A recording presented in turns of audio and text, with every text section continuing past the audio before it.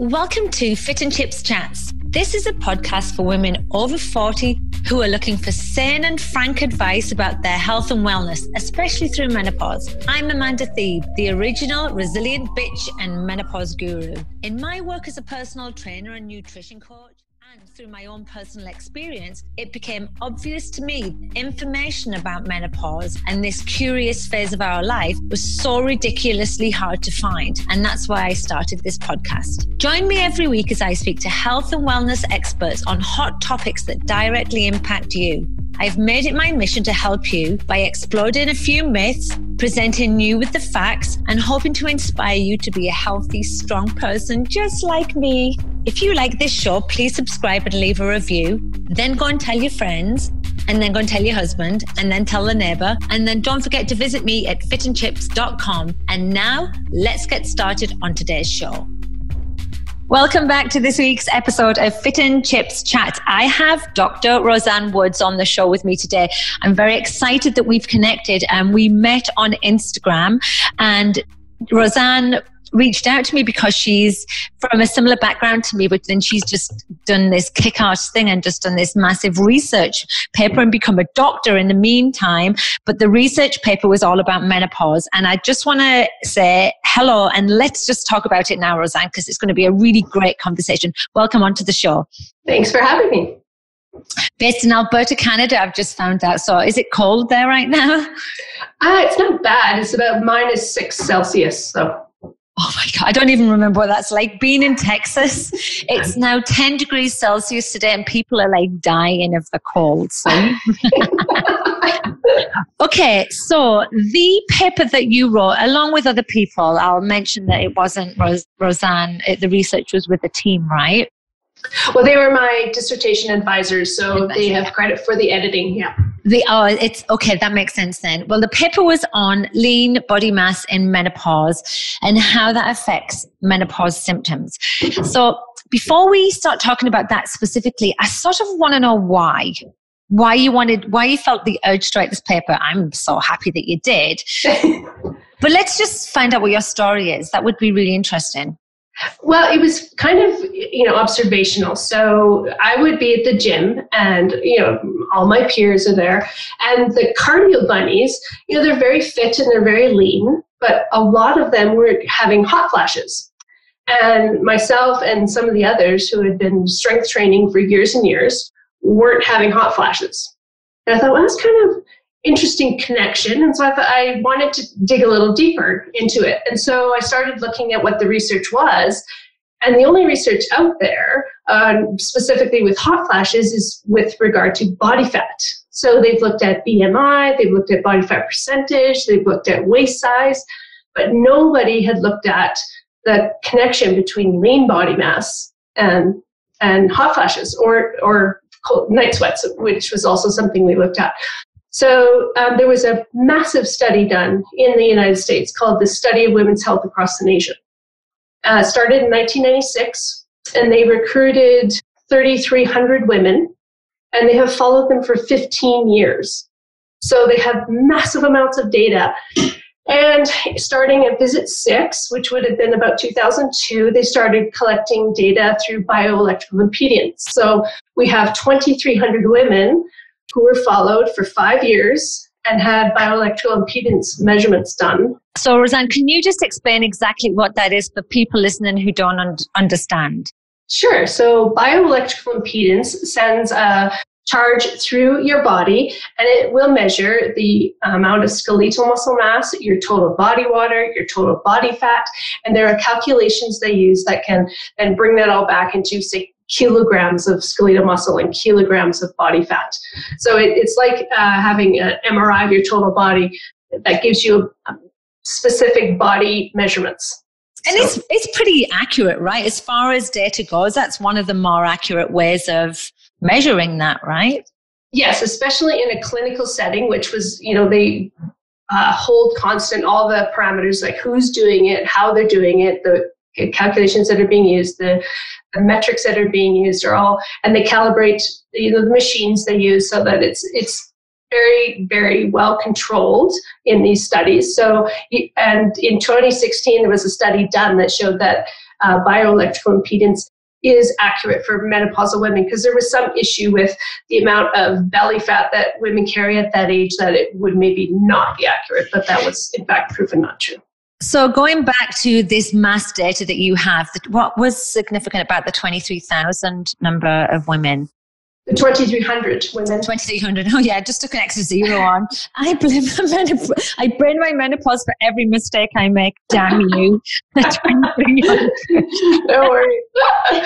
yeah, so 2300 uh, is most studies aren't able to follow this massive number of women, and it was done in uh, seven different locations across the US. So it was done in Oakland, San Francisco, Los Angeles, New Jersey, Michigan, uh, and they had uh, five different ethnic groups represented. So, oftentimes in these types of studies, you know, it's it's all Caucasian women, or it's you know, this one had Asian women, Latina women, uh, African Americans, and Caucasians. So they were able to um, right.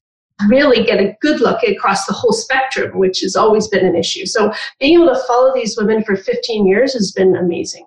Wow, I love that, and I love the fact that like it, the focus isn't just on the the, the middle aged white female. It drives me crazy because many of the people listening to this are from diff- different ethnic backgrounds, and they just don't even feel they we don't feel represented in menopause, so they definitely don't feel represented, right? Yeah. Okay, so we know that this mass study happened, and you know that you're you're seeing all of these cardio bunnies in the gym they're usually very slim ladies as well, but they're really struggling with um, these. It's called VMS, but if we just talk about them as like hot flashes specifically, what what findings did you have from from all of that data? Well, it, it was so great. I was so happy because what we found was um, women who maintained higher levels of lean body mass through the five years were up to 70% less likely to experience uh, hot flashes. So, on a year by year specific basis, we didn't see significant differences between the groups. Um, but once we looked at the range over time, it became very significant. So the probability of uh, having hot flashes goes down significantly the higher your lean body mass. And lean body mass if for, for those listening as well we can talk about that as as muscle right? We can talk about that like muscle versus like fat. Because we, we know we know that uh, especially women who are in the obese range they're more likely than any other person to have more severe symptoms right? We know that there's a direct correlation with the, the body fat. So oh my gosh where to go from here? There's so many exciting questions. So um how did you know that it was specifically strength resistance training that was helping the women as opposed to like the traditional HIIT exercises? Does, did, I know that there was some um, information about that within the study. Well, my study wasn't able to examine that specifically because um, although the women were supposed to and were alleged to have filled out the Kaiser Physical Activity Questionnaire, which is a uh, questionnaire that the research community uses to gauge uh, your type of activity and the minutes of activity and all that type of stuff. And the women did fill that out, excuse me, but the information was taken down from the website. It's being cleaned, as they like to say in the research world. So we weren't able to look at the difference in the activity levels of the women, but we the research just in general um, I did was showing a significant uh, difference between women who resistance train and the um, level of symptoms they were experiencing versus those who were just doing uh, moderate cardio, which prior to about 2014 the only studies that were done um, intervention wise where you would you know take two groups and one group would do uh, exercise and the other group would not and you compare them at the end the doing the exercise was given walking exercises to do, which we know movement is very, very important for stress levels in menopausal women. But in terms of, you know, increasing their strength levels or increasing their muscle mass, that wasn't what they were measuring at all. Yeah, well, we know that there there just isn't enough muscle stimulus, and I think that's where it comes down to it, right? We know that like the the general moderate cardio is is good for general health benefits, and we understand that, but the there's the, it's very difficult to stimulate the muscles at a particular level in order to generate any muscle growth, right? And um, I know from personal experience that I actually have, a, like, I would consider a no, normal lean body mass, um, normal to low probably, because I, I do re- resistance train and I have most of my life. And although menopause gave me a little bit of weight gain, it wasn't significant enough to change that lean body mass enough. Um, and I one of the symptoms I haven't experienced at all, and I think about them all, is is hot flashes. The, it just hasn't been an issue. Um, and I often wondered why. I mean, I did have them for a for, I think for about three week, three weeks. They came, they killed me. They went, they've never come back. I don't really know what happened. It's a little bit of an, an anomaly, it feels to me. Mm-hmm. But I knew for those three weeks I had them, I was like, holy shit they're awful. They're really awful. Um, so, but from a personal perspective, I, my my personal empirical data, data meets your like um, your conclusions. Mm-hmm. Um, so, like, what does that mean, though? What does that mean for somebody in your vision now? They're in menopause. They may be in perimenopause. They may be postmenopausal. You know, they don't know where they are. Yeah. But they're symptomatic. What What were the recommendations at the end of the study? Uh, well, for women in general, we need to get out to women who are in their mid 30s and be pounding this drum and saying, you have got to lift heavy weights because this is going to make your life so much easier in 10 or 15 years. And I know that's a hard story for people to hear, and it's, it's a hard prescription to give them. But if, if we don't start getting, and I think interestingly, the, the women in the study, when they started in 1996, they were already between 42 and 52. And they, you know, we're growing up in an era where you did Jane Fonda aerobics and nobody was telling them to lift weights. So they didn't have that cultural shift. Right now, I would say we have much more of a cultural shift where our younger women are in the gym, they're doing CrossFit, they're lifting heavy, they're, and they're okay with that. And you know society is okay with women having muscles now so there's not such a you know a poo poo about it that they're willing to go so i think we might start to see a shift in the number of women experiencing menopausal sy- symptoms as these kids who are now in their 20s start moving into their 40s because they've just all they've grown up with it. They know they should be in the gym. They know they have to lift weights. So it's unfortunately it's our generation right now who were kind of left out in the cold. I played university sports, so I had exposure to that, but it was not very common for women to be in the gym lifting heavy weights. It was kind of, ew, why do you want to look like a man? Like, I mean, it was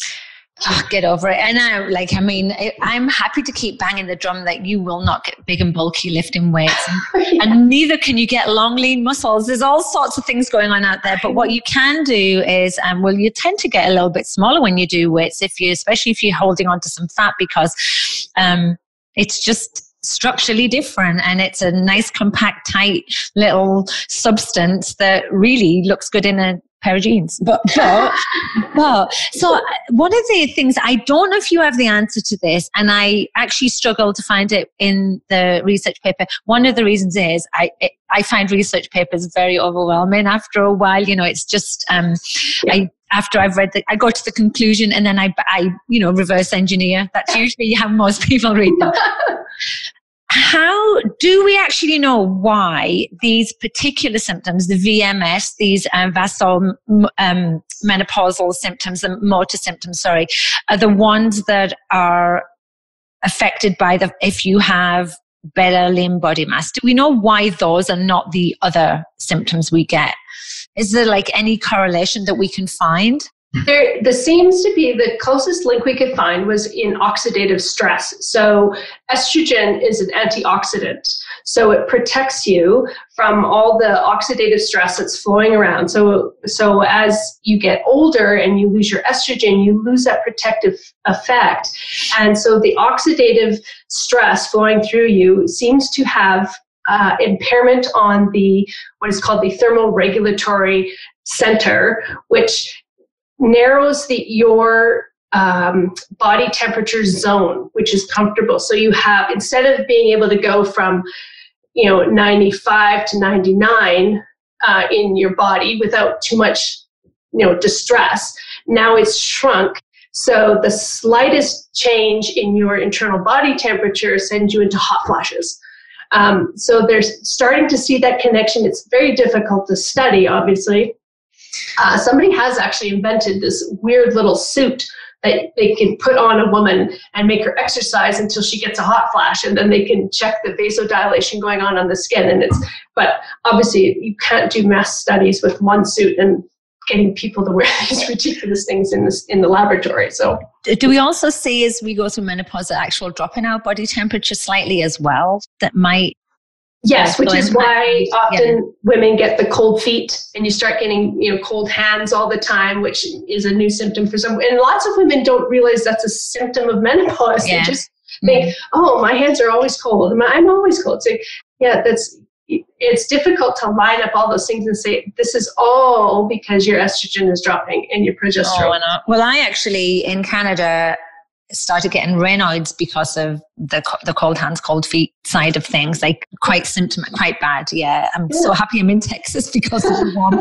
but yeah, so but but so we we know the we know the the shift in that that body thermatic um, um, system and like the our body temperature dropping. But the lean muscle mass seems to have some type of protective element to it. Is that what happens? Yeah, so what it's doing is it's protecting you um, in your oxidative stress, surprisingly. So, um, lean muscle mass uh, kind of creates a system, go, uh, process going on in your body that protects you from antioxidants that your estrogen used to do. So, I mean, muscle will also uh, attract as much, much estrogen out of you as it can because it has estrogen receptors. So yeah. the more you have, the more it can um, steal out of you, which is great. But it, it, it's not well studied because nobody's actually made this connection yet. So I'm hoping now we can start moving this forward and get a real firm grasp on why this is going on. Is that maybe your next baby? Yes.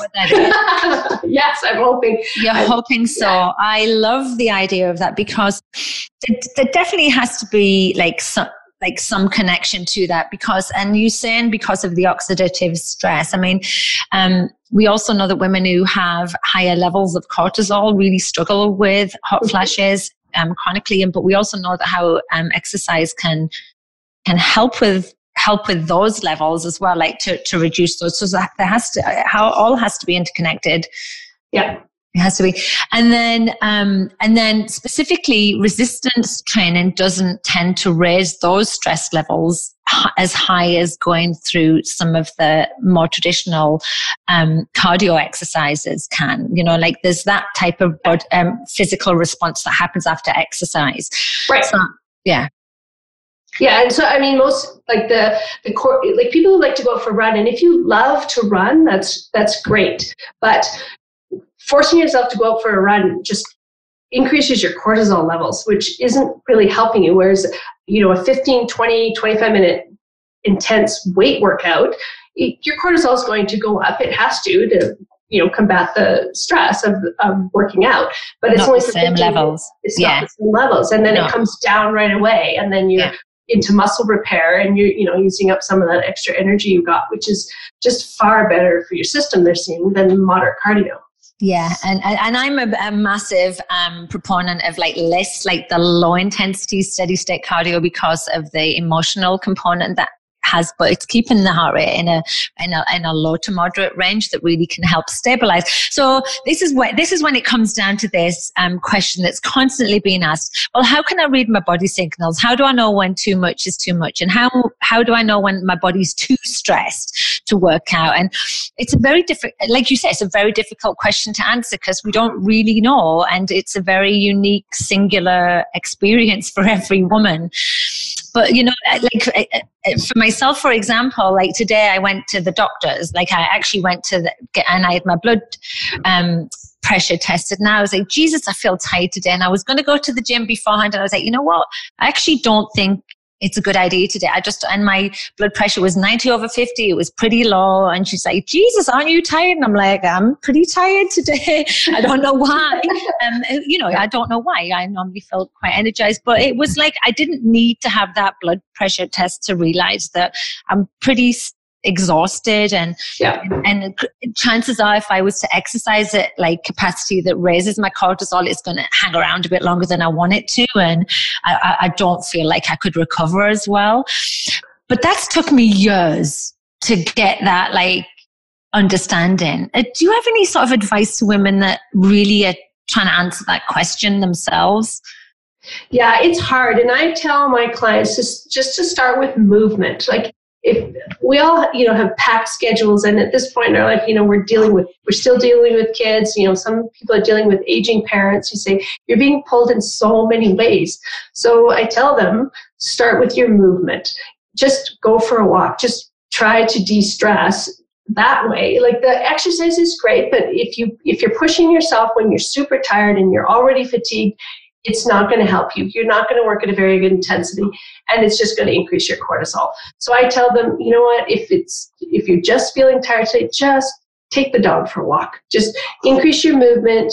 It'll help just keep the blood moving, keep your circulation going, get some oxygen and if they can get outside, I think it just helps a lot. Like even when it's minus six outside and we have hoar frost all over the trees, to say it still feels better to go out and breathe and then come back and say, oh, okay, now I, I can deal because stress, I think, is probably the biggest issue that menopausal women have. The biggest issue. Oh yeah. When I talk about like the four pillars that I coach, you know, I've obviously got nutrition, exercise, and like the positivity, the psycho- psychological aspect of it. Mm-hmm. But de-stressing, stress management is like number one because it impacts everything, the whole horm- endocrine system in your body. Yeah. All your hormones are impacted by stress. And so, like, if you want to work out that day and you're feeling like crap, do something that de-stresses you and see if you can get to a state where you feel a little bit more centered and ready to ready to move. And then, yeah, start with some movement. But here we go, right? So we've got all these women that are listening going, oh, this is awesome. I know now that the thing that I'm going to start doing is resistance training because I actually just want to start feeling better. I potentially have 10 years of this shit and I just want to start feeling good.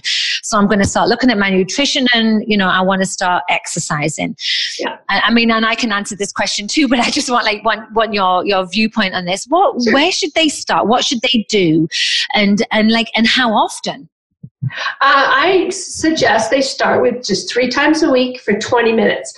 And, you know, they don't need to be lifting know, a bodybuilder split. They don't need to be doing specific body parts. They need to be doing full body, heavy movements, like pick up heavy things and move them kind of idea. It doesn't have to be, and I like them to move quickly. So I, I, don't want them doing, you know, a bodybuilder's, you know, do 10 reps and sit for a minute that's not helpful for them. So they need to lift heavy things, do it quickly, get through your workout.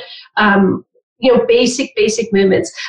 They don't like to squat, but you know what? You're squatting all day long. You're picking up the groceries, you're picking up the kids, you're moving the dog, you're moving the vacuum cleaner. So it's a movement they need to do to strengthen their back because the number of women who say, My back hurts, like I hurt my back, I say, we need to get more functional so I, I start with, you know, just kind of basic, basic, basic uh, squat, learning to squat properly, learning to bend over properly. Like how many of us have hurt our back reaching into the back seat of the car? Like it's crazy. So just strengthening with big, heavy movements, like just like your tired deadlift the other day. That was great. So just pick up a heavy object and move it. well, if anyone's not listening, you want to nip over to my Instagram feed. I do this. Um, I actually do run because I'm at the stage where my running doesn't raise my cortisol levels. I've done it for that long. I can do a 5K run and still be in a very easy, um, I'm relaxed doing it. Um, and I also need it just to get away from the kids. I'm literally running away from my family. That's why. yeah. But the, on this one day that I do, I run behind where my kids play rugby, and there's a football training facility there that I just I literally steal into. And they have this man-made hill, and I do hill sprints, which again are great for that, like anaerobic metallic, um, metallic, um, metabolic, um, yeah, metallic. That's the taste in my mouth. I've got the uh, the metabolic demand. But then there's this massive 400 pound tire, and every week I try and flip it and it won't move. It's just a total bitch of a, a thing. So I've started deadlifting it because it must be around 200 pounds, I would suspect. You know, I'm only, yeah. but it feels so good. And it's like, it's like I'm going to, I'm going to get it. But, you know, I love this approach and it's identical, identical in every respect to how I coach women as well who want to start because I'm like, you have one thing squatting isn't just about using your legs. If you squat, say a goblet squat, it's the best exercise to get the core engaged, to get the lats engaged, to activate your feet, to just feel like the whole body doing something. And it doesn't even need to be difficult, but you're going to re- increase your range of motion, your mobility is going to improve, injury prevention, blah, blah, blah, blah. There's so many benefits yeah, to it. Exactly. As, and now you're going to help your menopausal symptoms. So what, what the fuck are you waiting for? Just go and pick something up and squat it. But I also love like the, the moving quickly thing. Exactly. Right? And I think, like I tell women, because everybody thinks they need to to stop and you know you know recover it's like no you go until you can't go any longer and then you start again like you don't like stop and catch your breath okay go like start pick right where you left off and keep going and just 15 or 20 minutes is all you have to do if you're moving and you're lifting heavy. And it's, I know it's a big shift for a lot of women because uh, I still see them in the gym too, right? they have got 10 pound dumbbells and they're doing, you know, five bicep curls and then they put them down and they talk to their friend for a minute and a half and then they pick them up again and say, I, I appreciate you're there, but let's be more efficient with why you're there and actually get some results because you see a lot of them come in day after day after day and they, they're not changing they're not getting great results. But you say, I'm, I'm glad you're there, but let me just suggest some, you try something different and just and, you know. and, then also we we know and i mean you, it's very much talked about in the research as well just the other benefits of lean body mass moving forward into old age right or our second half of our life for for chronic diseases right i mean we the biggest killer of women is cardiovascular, cardiovascular diseases, we know. Yeah. One in two women will have a hip fracture over the age of 55. One in two women. It's insane. We need yeah. to have that skeletal support. And um, my my wish is that like I have every woman with a like a, a strength program like in their second half of their life purely for quality of life. Absolutely. Yeah. I mean, even, uh, you know, bone mineral density, you say the best thing you can do is lift weights. You, by the time you're 25, your body has stopped storing calcium in your bones. all you can do after the age of 25 taking calcium supplements is going to help a little, but lifting heavy weights is going to help the most. So you've got to do it got to do it, yeah. Okay, so we've come to the end of the interview, but is there anything else that you'd like to sort of add add to this, just to get? Because I love the idea of giving women lots of takeaways. That's the whole point of this podcast, you know. And I love that you've told them just start with you tw- three times twenty minutes a week, moving something heavy quickly. Yeah. Yeah. Is yeah. there anything else they can be focusing on? I, I, like them to focus on the the big dial movers, right? So don't be worried about should I have a, a post workout shake. You know, focus on one thing at a time. Get your three workouts in every week. Lift heavy things and then keep your movement up. Keep moving, like just walking, not stressful, not power walking, not just out for a nice leisurely stroll. Keep moving and then worry about, you know, I could probably add a little bit more green, but don't like stressing about your diet is stress. Like stop stressing about your diet. Eat moderately, you know, enjoy your life. And then the, you know, just those three components and just focus on the big stuff. Like, I mean, we get bombarded with information about, well, you know, don't eat after eight o'clock, or you have to do intermittent fasting, or you have to do keto. It's like, no, just do what works for you. Because figuring out what works for you is the hardest part. I mean, and we're all so different. And, and I can tell somebody what to do, but they have to really sit down and figure out what works for them. That's great advice. Yeah, I like to talk about it as of them like having a menopause toolkit. Mm-hmm. And you know, there's there's items in there that you're gonna need at certain times and other times not so much, right? But yeah. but the but the big main components will always be valid and will always help you. Um, and so that's great advice. Thank you, Roseanne. This is going to be such a great episode for people to tune into. Um, and I'm so excited about the research. Like, I'm so excited. It's just, it's just what we need because there just isn't anything out there. It really is a struggle to find valid information. And so I think that this is hopefully just the start of something big. I hope so too. Thank you for having me, Amanda. Thank you so much. And tune in again next week, everyone. Bye for now. Thanks for listening to the show. For more information on my services, head over to my website at fitandchips.com. That's like fish and chips. F I T N C H I P S.com. Or you can head over to my Fit and Chips Facebook page too. If you leave me a comment or if you contact me, I promise I'll do my best to respond to all of your questions. The views and advice expressed by myself in this show are not a substitute for conventional medical service. No information here should be interpreted as a medical diagnosis, treatment, or prevention of any disease. If in any doubt, always go straight to your doctor. Take care. Love you. Bye.